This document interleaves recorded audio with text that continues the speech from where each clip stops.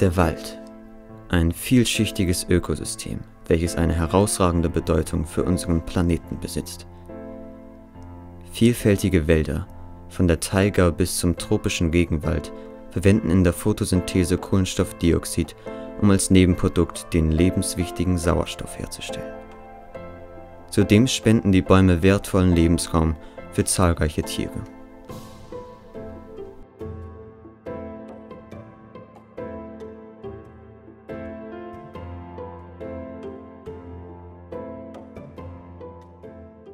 In den verschiedenen Höhen der Bäume finden unterschiedlichste Tiere Schutz und Nahrung.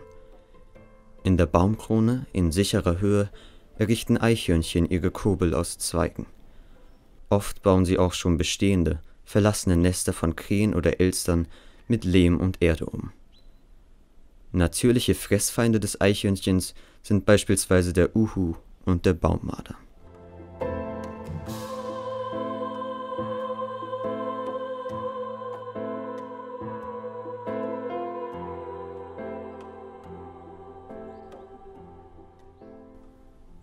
Der Uhu ist die größte Eulenart Europas. Er ist dämmerungs- und nachtaktiv. Für die Jagd bevorzugt er weite Flächen.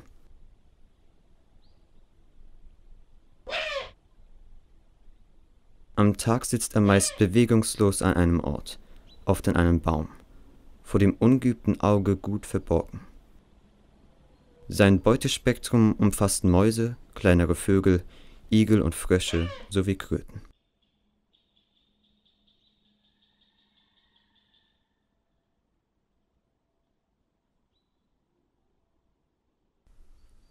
Der menschenscheue Baummarder lebt ausschließlich im Wald und ist außerhalb der Paarungszeit ein Einzelgänger.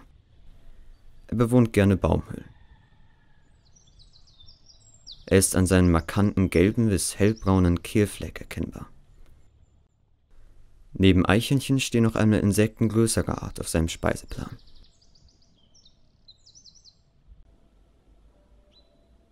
Auch der Mäusebussard frisst Insekten, hauptsächlich aber kleine Nagetiere. Er ist der häufigste einheimische Greifvogel.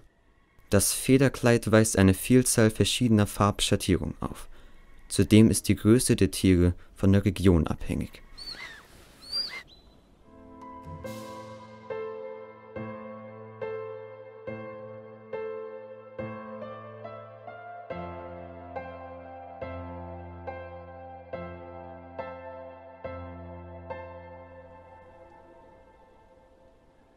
Das Rotwild ist das größte Säugetier unserer Heimat. Es sucht oft Schutz in dichten Waldgebieten.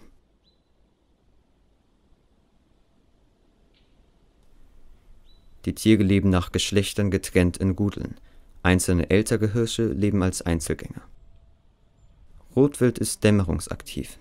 Es ernährt sich unter anderem von Gräsern, Knospen und Nadeln. Wildschweine können bis zu 20 Jahre alt werden. Weibliche Tiere leben mit den Jungtieren in Familienverbänden zusammen. Die männlichen Tiere leben als Einzelgänger. Wildschweine fressen Blätter, Triebe und Früchte, vor allem von Eichen und Buchen. Sie durchwühlen bei der Nahrungssuche den Waldboden beispielsweise nach essbaren Pilzen, Mäusen und Wurzeln.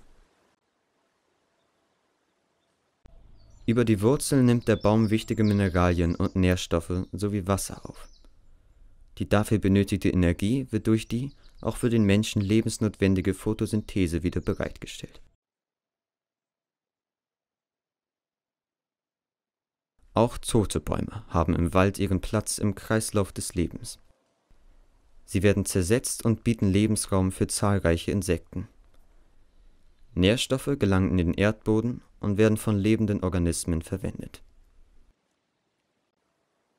Doch das einzigartige Ökosystem Wald war einst weitaus artenreicher.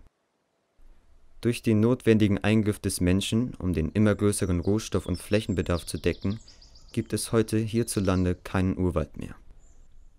Dem soll großflächig entgegengewirkt werden Seit 1992 setzt nun auch die Landesregierung Schleswig-Holstein auf naturnahe Forstwirtschaft.